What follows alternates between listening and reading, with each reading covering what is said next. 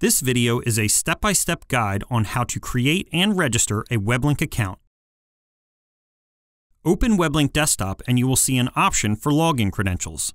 You must create a WebLink account before you can flash your device. If you do not have a WebLink account, click the link to sign up now. The Demo Mode button at the bottom of the page will not allow you to flash your device. This is only a demonstration of how WebLink Desktop works.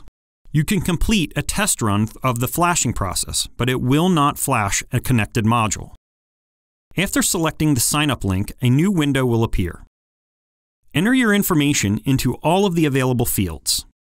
When finished, click Sign Up. An email will now be sent to the address that you have entered.